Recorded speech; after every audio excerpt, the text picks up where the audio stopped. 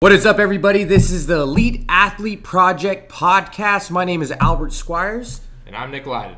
Woo! And we are ready to go. We got a good one for you today. This is podcast number one, big numero uno. Yes, sir. The five worst exercises athletes should avoid at all costs. Yes, we're talking to you athletes and even some of you gym goers that uh, want to improve the way you Actually, move. all you gym goers who look at Instagram need to listen up. To every single one of you tune in. it is, we are going live. All right. So we got five different uh, categories. Um, we're going to talk about various exercises within these categories, but five categories we're going to hammer down, and those five are big risk, little reward uh, category, doing a whole lot of nothing category.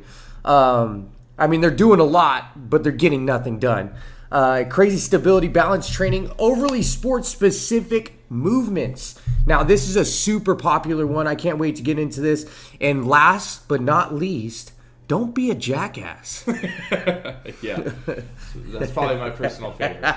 yes. Um, and there is a blog that we did write about this. Well, actually, Nick Lyden did here. Um, so you can go check that out. I definitely recommend it because we put some video clips in there that are just going to enhance everything we do talk about. Uh, but go ahead and check, uh, check that out. We'll put a link in there for you. So let's go ahead and get it started, Nick. Tell us about category one big risk, little reward category. Yeah, so all of these categories happened just over my course of training and helping different, uh, you know, athletes, yes, and then also, you know, everyday fitness goers and what I've been working with and really what I've been seeing on Instagram. And a lot of this comes from the questions that I get on social media, uh, particularly Instagram, and a lot from TikTok. And then also uh, the athletes that I've been training recently, like they'll be coming up and they'll be asking me about like, oh, did you see like this? Should we be doing this in our training, or you know, does this would this work or this not work? And I always have to break it down and explain to them why these things don't necessarily work for what they're trying to do.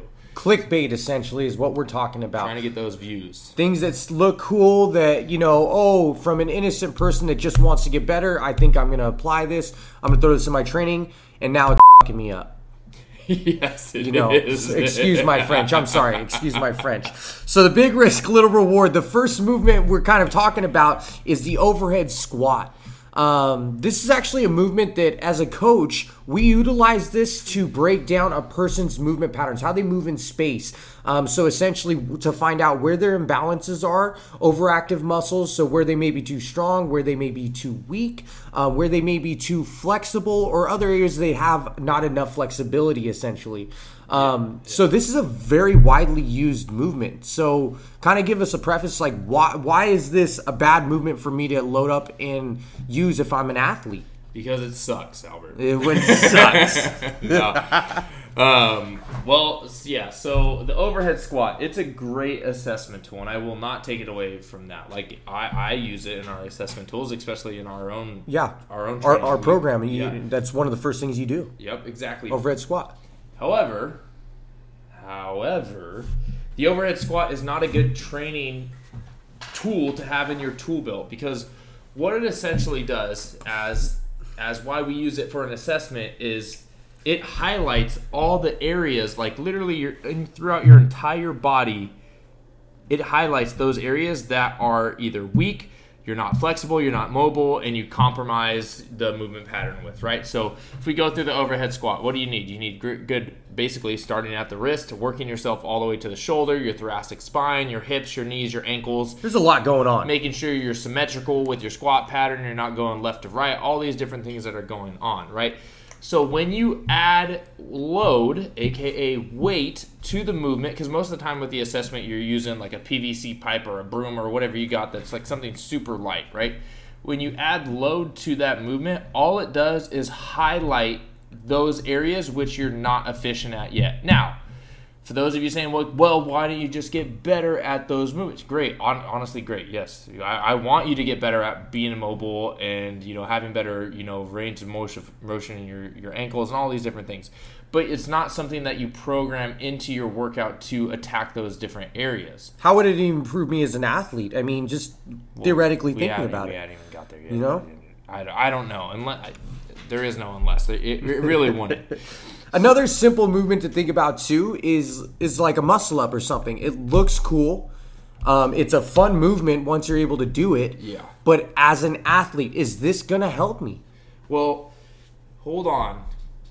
CrossFitters are athletes, Albert. Yes, yes, and I, I'm sorry, I shouldn't say that because yes, CrossFitters are. are. legitimate, some of the best athletes. They are. arguably.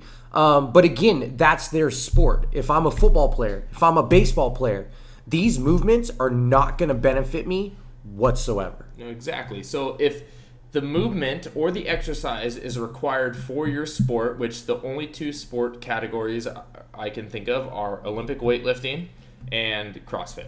They're the only ones that take their sport is in the gym. Yes. uh, besides powerlifting and Yes. you know that stuff. Every other athlete, whether you're a fencer, badmintoner, football player, or golfer, you are not taking a barbell out with you and using it in your in your game. Like No. you're just not. No. So There's better. There's better options to improve your skill set, 100%. to improve your strength, to improve these markers. Yeah, so if you're a coach or you're programming this or you're just an athlete thinking about well like okay, I know the overhead squat like makes me like stabilize my shoulders and blah blah blah. There are safer exercises that you can do that are out there that are going to give you a bigger bang for your buck for around those specific areas. Yeah. You know, doing for overhead carry, like overhead shoulder stability, like there's bamboo bars know, uh, that you could be using for overhead walks and carries and things like that. They're going to help a lot more with shoulder stability, for example. And if you're an athlete developing, the the key word we're saying right now is safer. The key to being a great athlete, when you think of LeBron James, when you think of Tom Brady, you think of these guys that are Hall of Famers, the best at what they do. It's not the fact of how they do it, but how long they've been able to do it.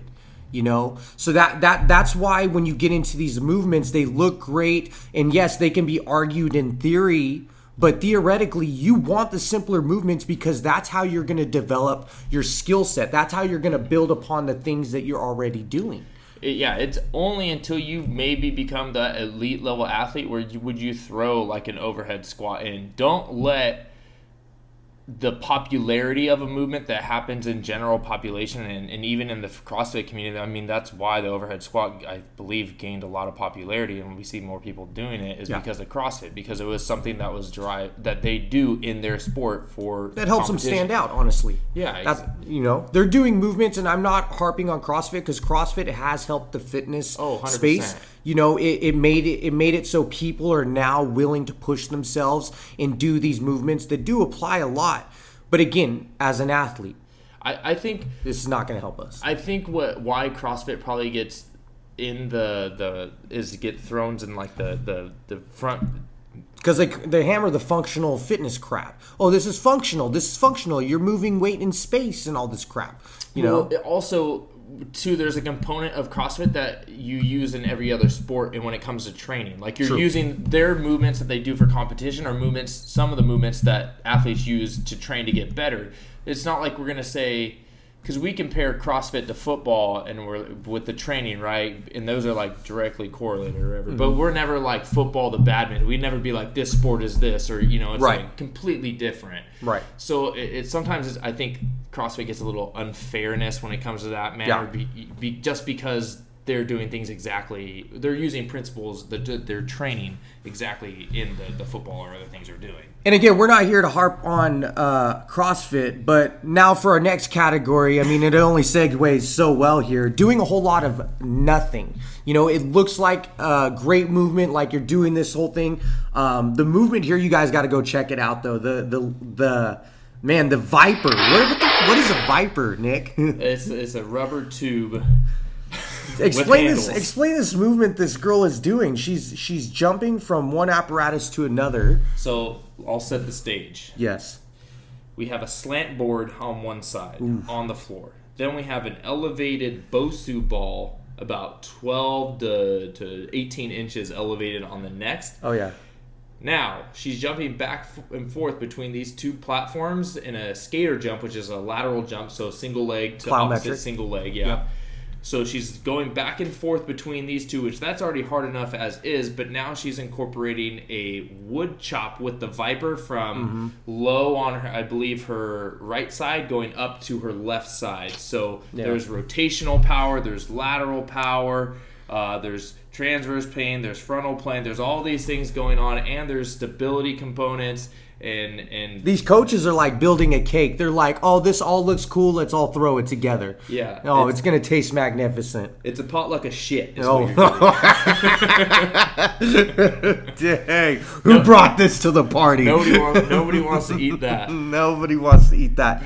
But it, I mean, essentially, it's one of those movements. There is so much going on that it's not going to help you develop that skill set. Again, the very the kiss, the kiss, keep it simple, stupid is one of the best things you can apply to your training because you can actually build on those skill sets. Where here. It is a the the lady that they use for this movement. She's a actually really good athlete. Yeah, she is. She's one of the top in her sports, actually. But even so, all we're doing for her at this point, if we were to work with her and do this, is put her at risk for injury. We're going to ruin her chance to continue to play her sport for a long time. Well, not only the risk for injury, but you're teaching that central nervous system that new a type of pattern that uh, that landing pattern, especially in her ankles and knees, uh, with doing this. So you're teaching that athlete now. Okay, because if you go wa- go watch the video, Yeah, uh, you got to watch the video. when you see her landing, you see low ankle bone or inside ankle bone down and low. You see that knee cl- uh, collapse in a little bit and her hip outside of that, which just does not create a healthy No. angle for your your you know No. ACLs and, and your knees and your hips and everything. Um, and And that- under, understand this, sorry to cut you off. It is okay that your body moves that way in sport at times. But if we're training and we're trying to perfect movement and hammer in the perfect movements, you do not want your knees diving in on a regular basis like hers is right now.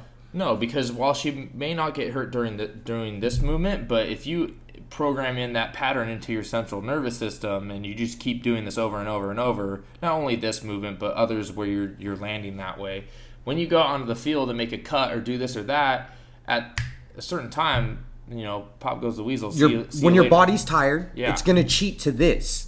That's why it's so important that we do things simply. We we focus on those effective movements that are going to translate into those times that we're tired, so our body cheats to the proper movement patterns instead of the ones that are going to get us hurt. And there's a whole nother layer to this as well. Now we got over the movement patterns, but God. This next one. No, no, no. I'm still on Oh, you this still one. on I'm this still one? on this one. I'm still on this one. When you're trying to develop strength or power or muscular coordination or these different or All things athletes need. Yes. It's ah. it's like trying to do 10% of everything and getting absolutely nothing. Yes, the jack of all trades. The jack of all shit. Yeah, you're not getting anything. Like you're not getting better. Like Basura. doing this, you're not going to get better at cutting. You're not going to get better at running. You're not going to get better at any of. You're just kind of wasting your time with this stuff. No. The only way to get stronger, more powerful, more explosive, run faster is to give it 110% at those things. So why not choose an exercise or not even choose a different exercise? Just break this up into three different exercises Right. and get the absolute most out of each of those because that's how you're going to get your strength levels higher. You're going to develop those muscles to do what you want them to do rather than doing it at 10, 15% and just focusing on not killing yourself with this movement. Right. You know what I mean? Working specific coordination movement, speaking coordination and reactive or responsive. These are the things you want to focus on, not 10 things at once, essentially, like we're doing here. Exactly. Break it down, make it simple, go hard at those simple things. Right. And I mean, again, there's another perfect segue into our next category, which is crazy stability slash balancing training. This is a, this is something that's getting super popular. You like we're seeing these people jump around on 10 different things and we're like, "Oh my god, this is amazing." Yeah, so the one I actually chose was a kneeling physio ball overhead press. Well, that's not that. It's only two things that are going on. Right. Now, I chose this one because, again, what what is the goal you're going for? What's the goal of the exercise? You should always ask that as a coach and as someone who's receiving coaching or doing their own workout. Like, Well, what? well, let's talk about who needs this specifically because who have we seen do this? Maybe Antonio Brown. I've LeBron seen Al- James, I've seen do it. LeBron James, Alvin Kamara. We're talking about the top athletes in their sports. So they've had years of development Mm-hmm. to get to a point where this may benefit them. Yeah. But the issue is with the one that you're showing is Well, let's talk about who are those elite athletes you mentioned. That's the top like point zero zero one percent of right, the world. right. So what are what for? Is this going to benefit me though as a high school athlete? Then Not yet. not yet, Not at all. not at all. Because why, Nick? Though why? because you don't have the foundations built yet. You don't. do- you don't have that foundation set. Even collegiate level athletes, like you, maybe only the top echelon ones that are already slated to go into the NFL draft or like you know, maybe them, maybe Mm-hmm. they might get a little bit, but I'm sure there are other exercises that would benefit them more. Much more. Yeah. So it's not. I'm not demonizing stability training. Like stability training has a great application, especially for like mental cognition and all these different Coordination. Percent 100%. that are going to help it. But I mean, if you go look at the video, that I mean, this is a lady in her, you know, maybe I'll be nice, mid thirties, you know, forties, something, right? And it's her trainer making her do a on her knees Soccer mom. stability ball, Sorry.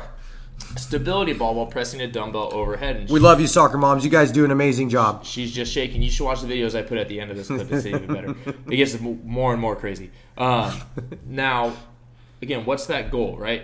If the if the trainer or the if the person who's doing that exercise their goal is stability, then I would recommend picking a stability apparatus, whether it be a Bosu ball, a physio ball, whatever it is, and doing body weight movements, moving yourself through a movement pattern and, and, and stabilizing yourself through that movement pattern like a squat or Right. a hinge or Versus a load. versus a load versus a load and another movement on top of that Right. because then what are we getting into are you actually are you trying to strength train or are you trying to are you trying to balance train Right. And this is this is the issue with a lot of these movements that we're talking about is things are overlapping here. And as as an individual as an athlete, we want to focus on specific things. We want to lift with intention. This, Exactly. this is this is 100%. Like if you ever go with any of our programs, the one things we always do is what's the intention here? What are we looking to accomplish here? Right? Because like Nick said, yes, the the cake may look great, everything's on it, but we can't have all of it. It's just not how it is. We need to develop specific skill sets and slowly develop these and build upon these developments until we get to those and then may- maybe this would apply. But even then, if I was if I had LeBron James in front of me, I'm not loading him up on this. Maybe a slight load just to increase the instability, but it's so minuscule, it's not going to put him at risk for injury. It's just going to be working a certain component of that coordination. i'm sure you've seen the uh, the best one i've seen is someone try to do an overhead squat on a physio ball it's like you are you're just you're Oh, hitting man. two categories at once Man, brother that clickbait, oh man. No, you- this has a little bit of the what I, I'll, I'll hold it off. It's the last category. I'll All right, it all right, all right. So the next category is overly sports specific movements. Now, the movement that we chose for this is kind of as our our thing. It looks, in theory, like looking at it, it looks like, oh man, this this may work out. Yeah, it looks it like okay. I Okay. see how it can translate over and all this stuff, right? Alright, yeah. Oh, this guy trained AB, so he must know his shit.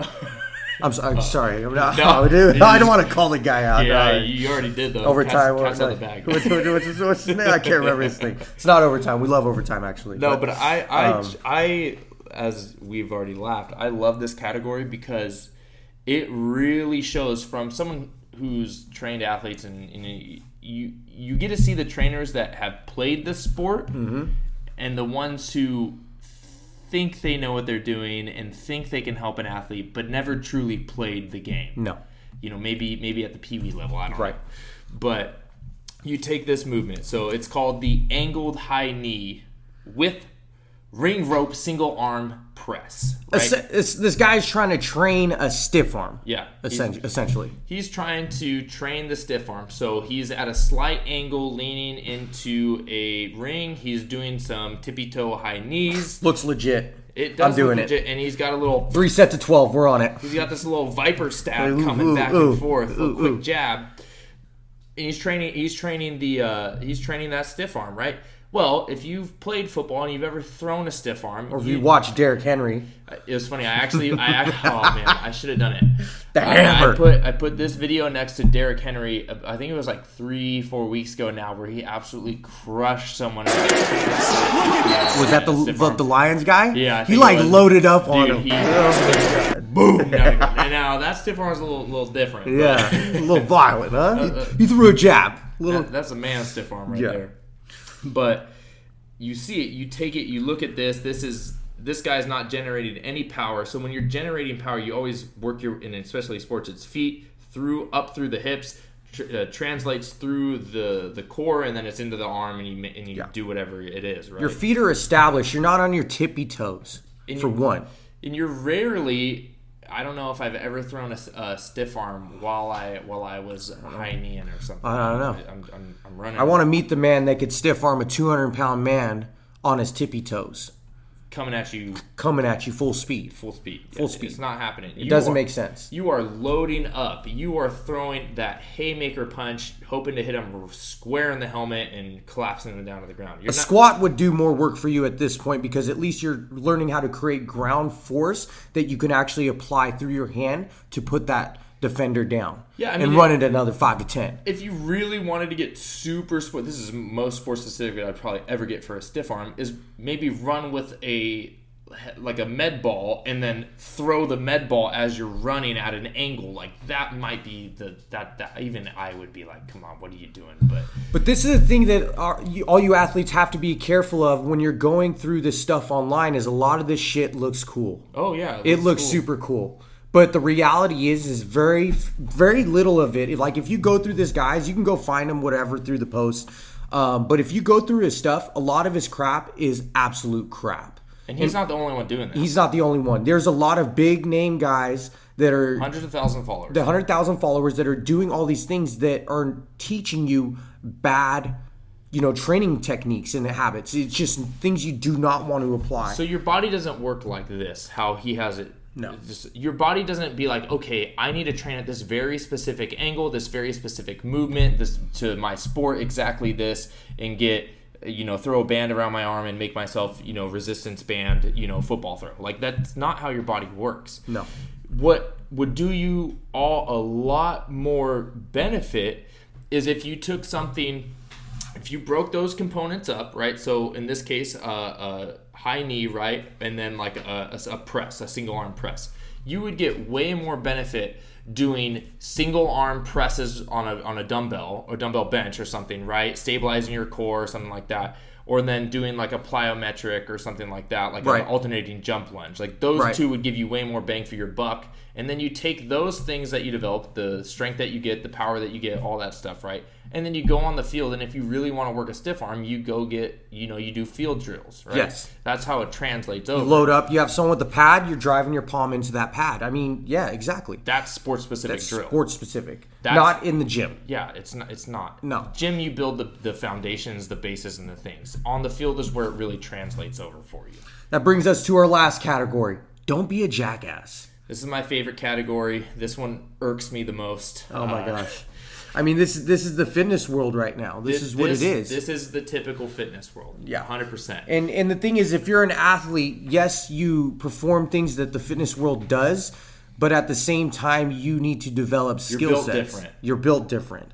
You know, um, we're not we're not curtsy lunging and doing a bicep curl. Which is exactly. Or I'm not doing a bicep curl into an overhead press, back down into a reverse lunge, into a burpee, to whatever it is. And if you're an athlete and you're ever going to do a jump, if you throw your hands into the ground as you try to jump up, I might fight you. Yeah. You are throwing your hands up as you jump. That's just side note right there. Negative inches. Ert, vert went negative today. Opposing forces works well. Works well. But the curtsy lunge bicep curl. Now, I chose this one, and this goes back into the other movements that I've talked about, or we talked about, like the viper lunge cross thing, whatever you want to call it, um, and even into the stability ball overhead press. These all have movements in them or exercise components in them that are limited, or one of them is limiting the, uh, another one. So in Right. this case, you know you see it now you know sorry ladies but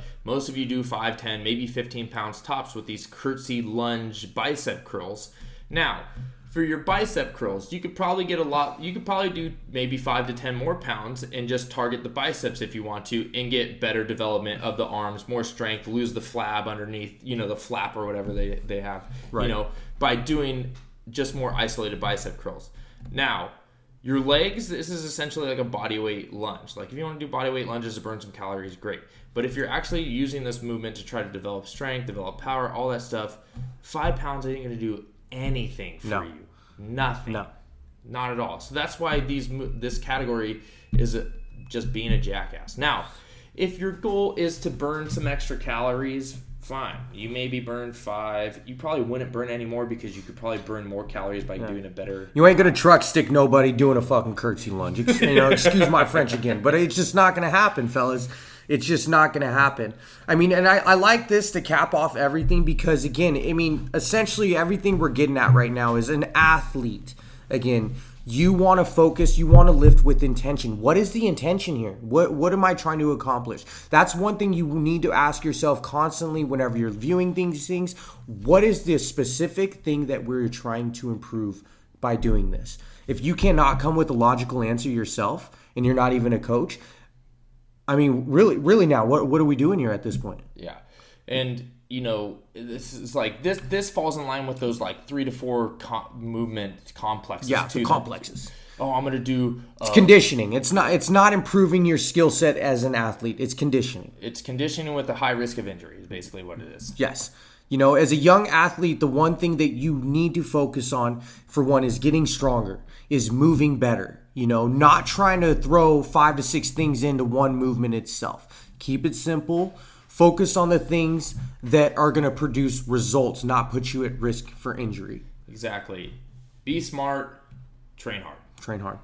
Be safe too. Yes. Do you have anything left to say today? No, overall, um, just you know, or if you want to, you know, hear more from us or learn more from from us, uh, you can follow us on our Instagram account, which is uh, Athlete Academy with an underscore on it, or you can follow our personal co- accounts, which is mine is just Nick underscore Leiden. Yeah, my co- coach Squires on Instagram, Albert Squires on Facebook. If you want to find me there. Yeah, and if you want to make sure that you can uh, see this and see all the videos, we're going to be putting this up on the YouTube on our Athlete Academy channel, and then uh, you can find the blog that we've been referencing all of these for, and you can go see those videos there as well. Um, and that's at athleteacademy.us forward slash five worst exercises, and we'll put the link in the show notes as well. Yeah. Thank you guys. We this is Elite Athlete Project podcast and we're going to be coming out with more content next week. It's going to be dorsiflexion. So this applies to speed mechanics and improving your running mechanics, everything else there. So if you want to get faster, you're going to want to listen in next week. Yeah, this is a very specific thing that we're talking about that can really take your speed and agility training to that next level. Yeah. All right, guys. Have a great week and we'll catch you later. All right, peace.